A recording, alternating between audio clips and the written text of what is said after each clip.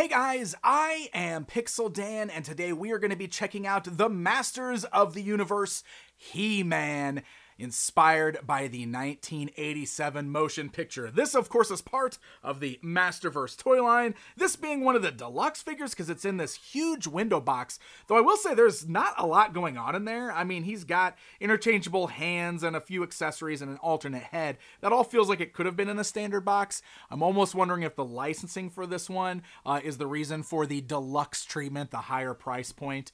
Um, and what I'm guessing here is that this is one of those things where Mattel was able to make a deal with William Stout. William Stout, of course, being the designer of all of the costumes for the Masters of the Universe movie. That is how Super 7 was able to produce these figures, and I'm guessing that's the same thing we've got going on with Mattel, uh, because obviously the, the hot topic with this one, this is clearly not a Dolph Lundgren likeness. I'm assuming they did not have likeness rights. I know that the rights for that 87 movie are sort of a mess. They're all over the place. Um, so I'm willing to bet the license is specifically for the look of the character and not the actor himself. So keep that in mind as we're taking a look at it. Uh, of course, on the side of the packaging, we do have some gorgeous artwork, which does have more of a Dolph Lundgren look to it, and that continues on the backside. So I'm going to give a shout out to my buddy Eamon O'Donoghue. Uh, he's a big fan of this film, and for him to get to work on this artwork, I know that was special for him. Also, if you have Skeletor, this lines up and it makes one giant scene with He Man doing battle with Skeletor in the Grayskull throne room there. Uh, really, really cool stuff. I like that quite a bit. So, beautiful, beautiful packaging. But let's go and get this opened up. That way, we can get a closer look at our new movie He Man. All right, we've got He Man outside of the box. Let's go ahead and start with the tape measure so you can see that this guy is uh, just a little over seven inches tall, uh, so should fit in with your other Masterverse figures. Okay, we're gonna ignore the head for a moment. Let's talk about the rest of the action figure here. So, as I mentioned, I believe the way that Mattel accomplished this was the same way that Super 7 accomplished it in the Classics line, in that the deal was made with William Stout, the designer of the costumes. So, the actual costume itself looks pretty great on this figure. It is a really good representation of what we saw in the film. And I really do think all of the sculpted details on this are very, very nice. You can see how intricate all of the uh, details are in the shin guards here, uh, working up to the emblem on the front of the straps across his chest, even up here on the shoulders and it's all done in a goldish plastic which does have a nice wash on there. There's even some extra paint deco in some of the places uh, like on that emblem on his chest like on the belt buckle there. All of this looks really good. I think that's all very very nice.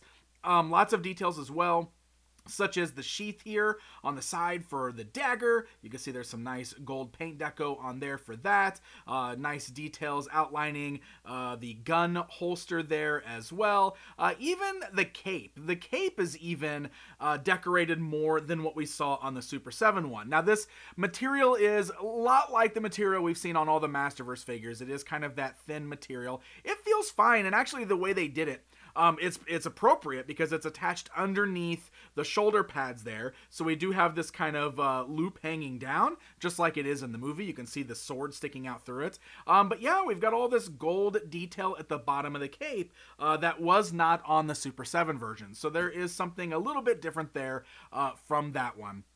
Underneath the cape, you can see the very unique sword sheath, which again is the way it is on the costume. The way it comes through here kind of holsters in the bottom there.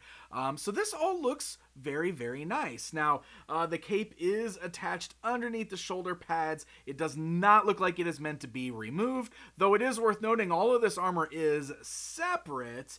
Uh, looks like you, well, let's see. Uh, yeah, looks like we could just uh, detach it by undoing the button on the back of the harness there, which is going through where the sword sheath is. So if you wanted to remove this, you probably could. The belt is glued in place, so that is not moving, but it is hanging uh, in the appropriate fashion, the way it is in the movie. You can actually turn the sword sheaths a little bit, or like these dagger sheaths, just because they're pegged into place there. Um, and all of these weapons are removable, which is really nice. So look, you got the tiny little boot dagger, which goes in the holster down here. You do have the smaller dagger there. Uh, you know, it's close, but not perfectly accurate to the one from the film. I think I'm gonna have to give the nod to the Super 7 one on that, but still nice that it's included. Uh, and same with the gun over here. You can remove the blaster. Uh, there is no paint deco on it. It is just molded in a black plastic. But, you know, you got the blaster there as well, which was an important part of this particular version of He-Man. And then the power sword, removing it from the sheath. Uh, it is a decent rendition of the way the power sword looked in the film. So all in all, I like the look of this guy uh, as far as the costuming and everything goes. That's all nice and spot on. Uh, let's go and talk about the articulation on this guy. So, you guys know what to expect from Masterverse, and this does look like it still basically utilizes a similar body type to most of the Masterverse figures, most of the He Man figures there. So, you should know what to get, what you're getting as far as the rest of this articulation goes.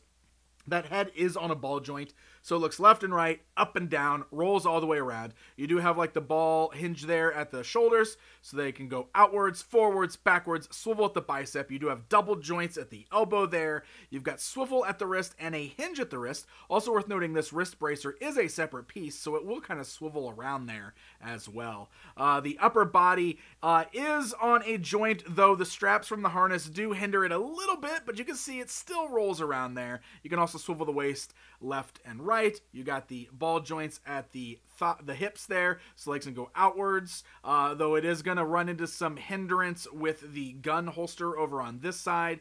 Forwards and backwards motion. You do still have a swivel at the thigh cut. You have double joints at the knees. I will point out that these are very, very tight. Uh, I had to warm these up in order to bend the knees on this figure. Very, very tight joints on this one, so be a little careful with those right out of the box.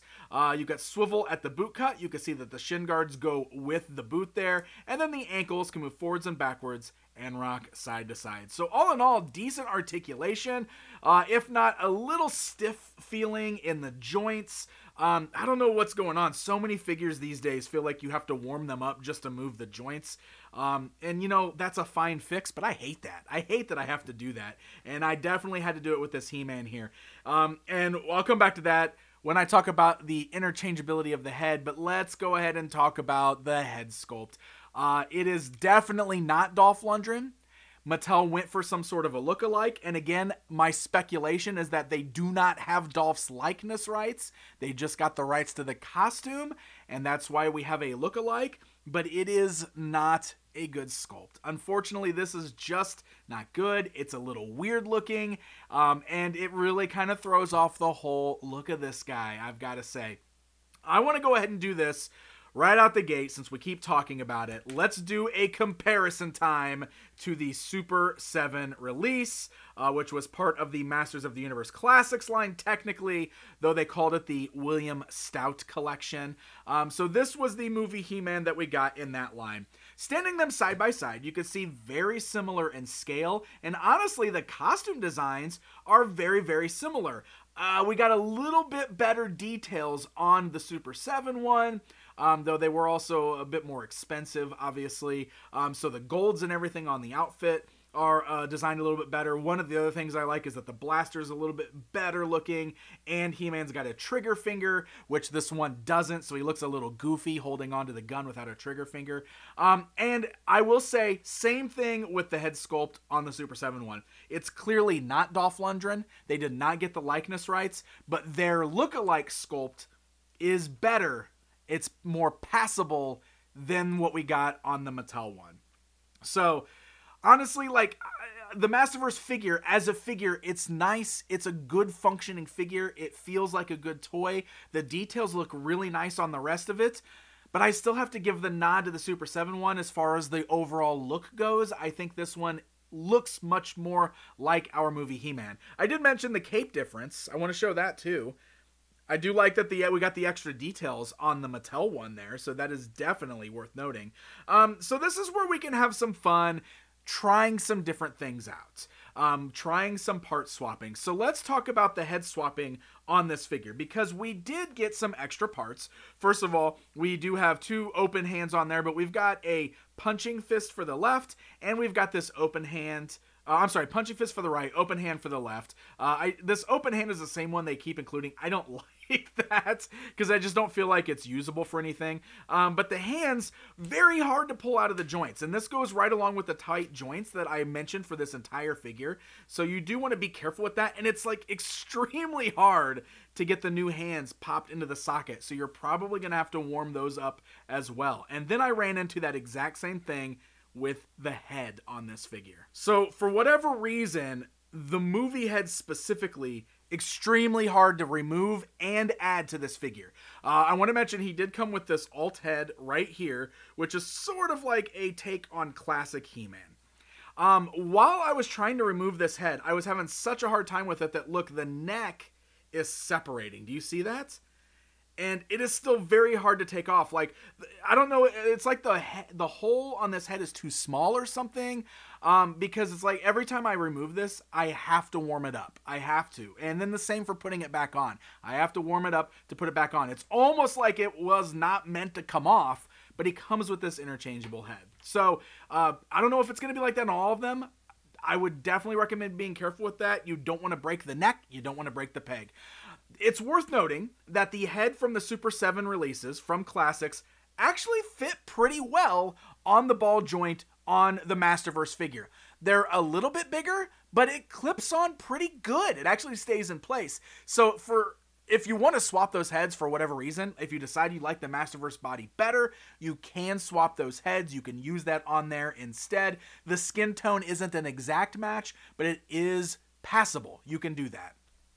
So let's look at that other head that came with this on this body. Like I said, it's supposed to be sort of a take on classic He-Man, uh, and it looks okay on here, but it still isn't great. And honestly, that head sculpt, uh, it's it's like it, it looks okay until I put it on a figure, and then I just find myself not really loving it.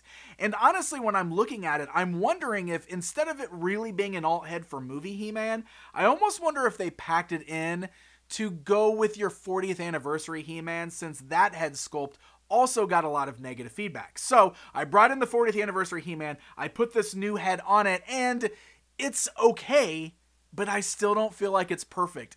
And man, I say this all the time, but He Man's likeness is so hard to nail down. I don't know what it is. This head almost looks a little too small, proportion wise, to fit with the 40th anniversary He Man. So, still not quite there, but maybe, maybe doable for some of you out there. And then this just got me thinking, like, what would this movie He Man figure look like with some of the other heads from the Masterverse line? So I tried popping on a couple different heads from throughout Masterverse just to see how all of them look on this body you know, I've been pretty open about how I haven't really liked most of the He-Man heads, if if any of the He-Man heads in Masterverse, uh, just because they're all so drastically different. Like they're all trying to come at He-Man from different angles, and they're not quite getting it. So none of those really look good on this body either. I will say the alt head that came with New Eternia He-Man, that's the closest one to looking good on this body, in my opinion. So there you go, my friends. That is a look at the Masterverse movie He Man. I really feel like I was coming off pretty harsh on this guy.